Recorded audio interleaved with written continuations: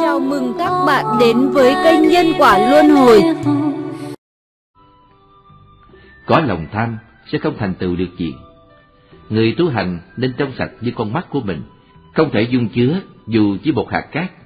Dĩ như trong mắt quý vị có hạt cát với định quý vị rất khó chịu Và lo tìm cách để lấy nó ra ngay. Nếu không, cả thân tâm quý vị cũng chẳng sao yên được. Tu đạo cũng giống như thế. Hạt cát đó là gì? Là lòng tham có lòng tham thì mọi việc sẽ bắt đầu biến đổi. Bản lai vốn trong sạch, nhưng một khi trong đầu có ý tham, tức khởi động tác dụng hóa học, biến nước trong sạch thành nước dơ. Như vậy đã không có lợi cho người, trái lại còn hại cho mình nữa.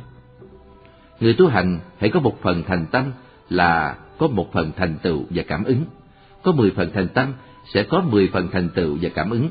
Khi có được thành tựu và cảm ứng rồi, chúng ta không nên chấp chứa ở trong tâm vì là ưng vô sở trụ, nên chúng ta hãy quên phước nói đi. Mục đích chủ yếu tu đạo của chúng ta là vì muốn liễu sanh thoát tử, chứ không phải vì cầu cảm ứng. Quý vị nên nhớ lấy, chúng ta tu hành thì không nên có ý đồ chỉ cầu được thành tựu, muốn được cảm ứng, vì đó là điều sai lầm to lớn. Mọi người nên hiểu cho rõ về điểm này. Nếu quý vị chuyên tâm nhất trí tu hành, khi công phu đến mức thành tựu rồi, tự nhiên quý vị sẽ được thành tựu và cảm ứng. Nhưng nếu tu hành mà có ý đồ, quý vị vĩnh viễn sẽ không thành đạt gì, và cũng không có cảm ứng chi. Như câu nói, có tâm là vọng tưởng, vô tâm là cảm ứng. Cảm ứng thì có thể hy vọng, nhưng không nên cầu sinh. Người tu hành nên chỉ hỏi chuyện cày bừa, chứ không hỏi việc thu hoạch. Bất luận làm việc gì, chúng ta cũng nên tận lực làm, và đừng màng đến kết quả sẽ ra sao. Dù như thế nào cũng nên quang minh chánh đại. Điểm xuất phát là chỉ vì công chứ không vì tư, không có tâm ích kỷ riêng tư khi làm việc và không tính toán lo rầu về chuyện thành hay bại. Khi làm việc cho công chúng, chúng ta cũng nên như vậy. Chúng ta không nên lo sợ, giống như phía trước đã có sói, còn phía sau thì có cọp. Vì nếu có chuyện xảy ra, ai cũng không dám đứng ra gánh giác, rồi xô đẩy trách nhiệm cho nhau. Chuyện nhỏ như vậy, còn chuyện lớn thì cái suy ra thì sẽ biết.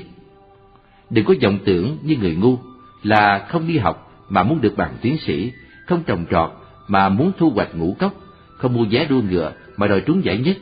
Đâu có chuyện tiền lợi vậy.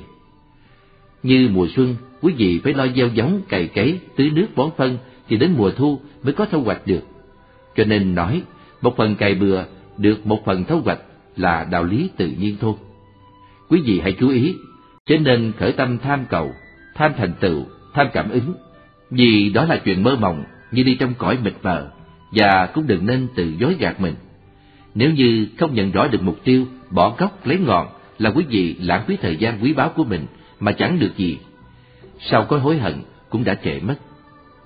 Giảng ngày 17 tháng 5 năm 1984